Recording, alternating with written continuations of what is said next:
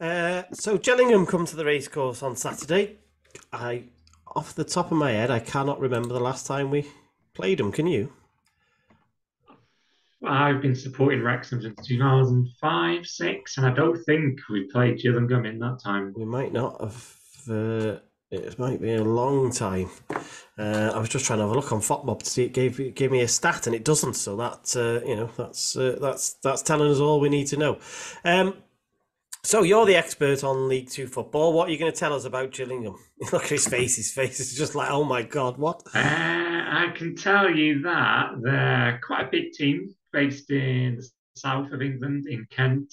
Um, had a good start to the season, um, but then dipped in form, which led to the dismissal of their manager, Neil Harris. Yeah. Um, and I think last week they appointed a new manager, Yeah. Stephen Clemence. Yeah. Ex Tottenham. Um, he was the son of Ray Clemence. If you've got any older yeah. listeners who might know the, the famous goalkeeper. Um, might be wrong, but is it his first first team or managerial? As far as? I know, yeah, I think he's, Been he's possibly been coaching, um, but yeah. Um, they, so they would start of the season. They were signed, grinding out one nils every week, if you remember, weren't they? They but if they were monotonous every week, home or away, they were grinding out these one nils. I think they'd gone. They were top.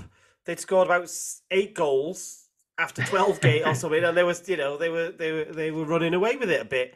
Um, and then, like you said, they had a little bit of a run, and uh, Harris obviously um, another ex. Was he? Was he?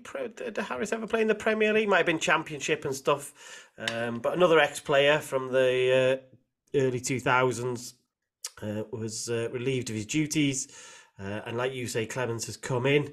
Um, I guess a face or two. Let's have a look at the squad first, um, just to see if there's any uh, see if there's any players that you uh, you or I both recognise um, from a name point of view. I guess the obvious one is Johnny Williams. Wales international. So, yeah, uh, I, you know, I remember. I, th- I think did he was he a free agent? And I think there was a few people sort of uh, hope hopeful that he might come to us, uh, perhaps in the summer. Uh, is there was a few people sort of talking about him, but um, nothing sort of serious ever came from it. I think it was a, some some Wales fans probably hopeful rather than anything. Do you know what I mean? Um, uh, but uh, you know, other than that, I guess if you're if you're a real League Two uh, fanatic, you might know a few of their names. But there's not. Macaulay Bonne is probably the uh, the live wire up front.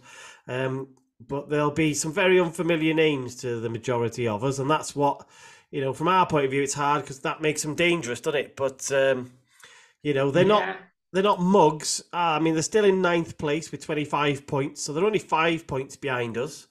Um, but away from home, at the racecourse, uh, I guess we're when we come to do predictions in a minute, we're going to be positive, aren't we? Yeah, they have got a few decent players, like you say, Macaulay Bonne. I think Leyton Orient, when they won the league three or four years ago, he was he was really good in that team. Was that Um, the Justin? It was was that just either before or after Justin Edinburgh when uh, he sadly passed away, didn't he? But he was in that that era of uh, of when they had some success, uh, if memory serves. But I am stretching me, me knowledge there. yeah, I mean, 2018-19 season when Edinburgh was there and Bonne was there, they won the league and they were they were really good side that year. Um, yeah, Lapslie, um, the midfielder, Yeah, very good, very good player. Um, but like you say, it's a game, even with the suspensions to McClean and Mullin and the injuries as well, you'd still say Wrexham are favourites for. yeah. Um, so lineup wise, I'm not who's left standing. I'm not sure who's left standing. Um, what do you think we're going to see on Saturday?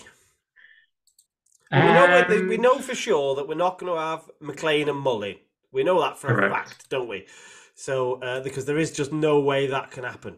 Um, Arthur's going to start in goal Yeah, unless he gets unless there's unless this is all assuming there's no injuries in training this week type of thing, is it? Arthur's going to start in goal. Forde probably going to start at right wing back. yeah, yeah. He's, he's got an hour. He's taking him off after an hour, not to push him. They'll they'll work him in training. They obviously rested him on Tuesday, so that that's the that's the thing. Um, I'm guessing Mendy's going to start left wing back. Yeah, too soon for Hosannah. Um, Well, Hosannah's yeah, got no chance because he's not even in the squad, is he? He's not listed. of course. Yeah. So, course. um, so it's definitely going to be him.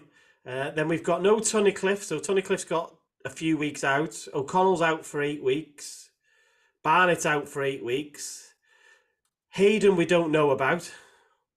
Uh, it's all gone a bit quiet on him, hasn't it? It's a bit weird. There was rumours that he was ill. Then he's then people think he might have had a, a bit of a tweak. So it's gone a bit quiet. So Hayden could come out of nowhere, but could you just throw him in? Or are we going with Tozer at the back and then the two midfielders, as I call them, either side of him is going to be O'Connor and Evans, surely, isn't it? yeah, and to be fair, I've really liked the look of Evans and O'Connor at the back. Yeah. Granted, I'd like to see them in midfield and their natural positions, but away at Notts County, I thought they were excellent, um, and away at Mansfield too, thought they were excellent. So I fully expect to see Tozer as the centre, Yeah. um, flanked by O'Connor on the left and George Evans on the right. There's just just to play devil's advocate. There's no way Boyle or this is what we were talking about before. There's no way Boyle or Cleworth has played their way in after the other night. I don't think so. I don't think that they you would have looked at them and gone, they must start now. Let's push one into midfield, one of the others into midfield. I think like you, it's going to be that back three. Yeah, I think it's hard as a defender to shine in the match Maybe, you're trying to impress yeah. in, if that makes sense. You can only do what you can do, really, and that's defend. So, unless there's injuries, I'd be surprised if the back three isn't Tozer, um, Evans, and, and O'Connor. Tom O'Connor. Um, so I'm expecting Elliot Lee and James Jones to definitely start in midfield. Um, and I guess the question is then, is it Andy Cannon or Luke Young? Um, does the fact that Luke Young played last night to get some minutes, does that tell us that Cannon is probably fit, so he was able to give Young the minutes last night? Because if Cannon wasn't fit, would you take the chance with Young last night? Is my is my question. Do you, do you know what I mean? You wouldn't risk the injury, would you? Um, it's hard to answer. hard to answer. Um, potentially, potentially.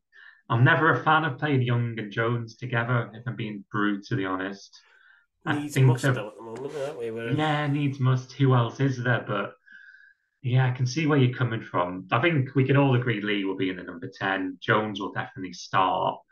And then it's a case of, like you say, will it be Young? Will it be Cannon? Will it be. Well, I don't know if we've got anyone else, to be honest. Unless we see one of the two centre backs come into midfield and Cleworth starts or Boyle starts, but I can't see that. So hands might be tied in terms of that midfield through. I was just going to say, I tell you what would be, re- I tell you what would be um, an interesting side story. Just touching on what you've just said, if one of those lads comes in at the back, and we push one of those uh, O'Connor or Evans into midfield because Cannon is injured. If I was Luke Young, I'd be thinking, "What's going on here?" you know what I mean? You would be then. You would be thinking, "Well, like, you know." phew, you know, you'd be starting to quit, ask some serious questions, wouldn't you? Absolutely, If you wasn't yeah. already. Absolutely, and this is the club captain. We forget Luke Young, who was before the end of that season, he was a lot of people's player of the season, certainly in the top three players of the season until he lost his place in the team around Easter time or somewhere similar. So, yeah, if Young still can't get a game in that midfield and he's getting replaced by someone else who's come out from centre back, um, yeah, you'd be asking questions, but you've got to trust in Parkinson, I guess. Yeah. Uh, and then up front, uh, it will be two from Bickerstaff, Dalby, Palmer. Um, again, uh, you've got to you, you got to think that uh, Dalby and Palmer is going to start that game, haven't you?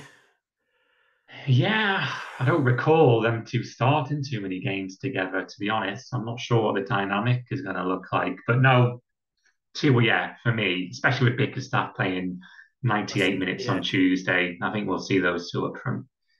Yeah, it's it's that it's that old adage that um, you normally like to have a blend of skills and characteristics, don't you? So uh, the common consensus is that Palmer and Dalby are similar. Dalby's a little bit more skillful than people give him credit for, but they are frame wise. That's why they, they that comes, doesn't it? Because they're both the they're both used as the target man, really, that focal point, aren't they? That's why I think that that that sort of comparison comes. Uh, but given their experience, and I think it's definitely going to be them that start the game. Um, but they might not. I'd say I fully expect to see Bickerstaff off the bench, though. Yeah, potentially. Um, we never see both strikers play the full 90 minutes, do we? So, yeah, Bickerstaff.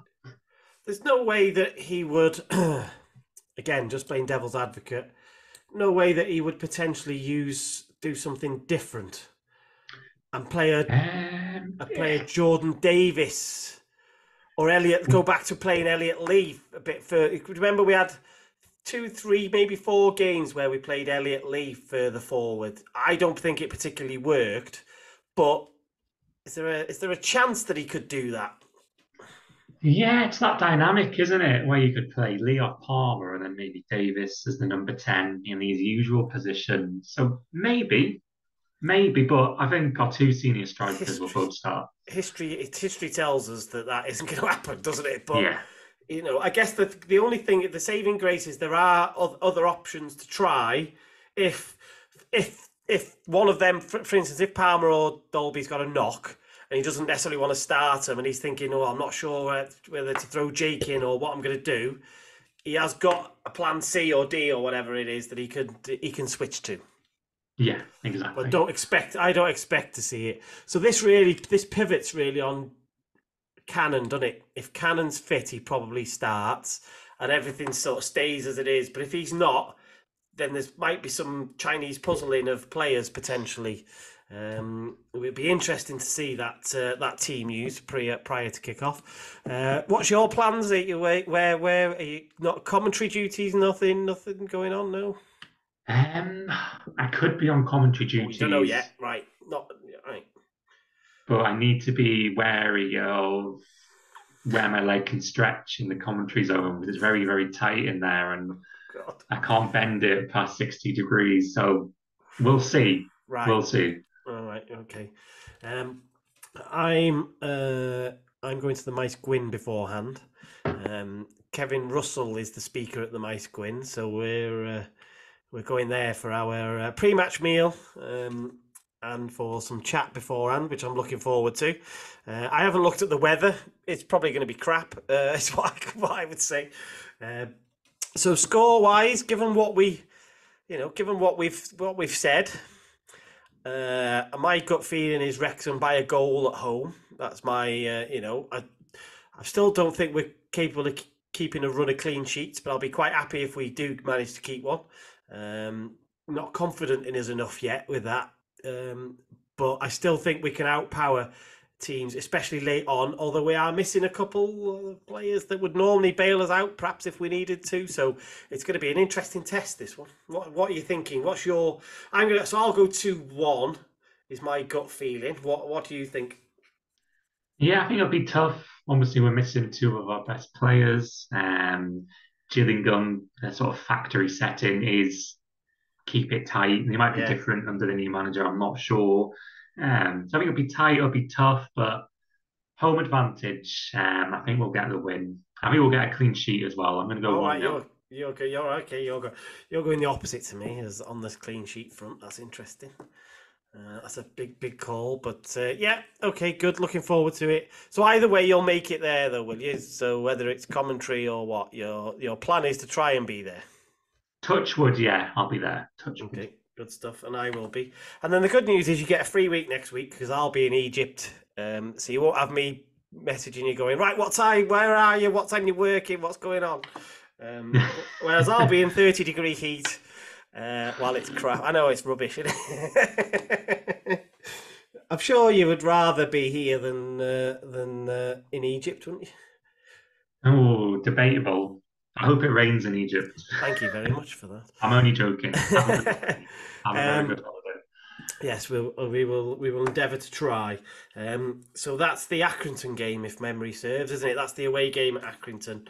We'll Um, be able to watch it in in, in Egypt, oh yeah, yeah. I'll take, overseas. Yeah, yeah, absolutely. They uh, follow is very big in uh, Egyptian hotels. It's, uh, it's from from experience.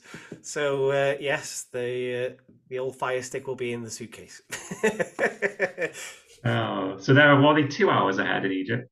uh, it was one, but I'm not sure with our clocks changing. So Might might change two. now. Might Yeah. be two. I've There never been go. this time of year. I normally go uh, normally go earlier in the year or later. I'm just in the other room.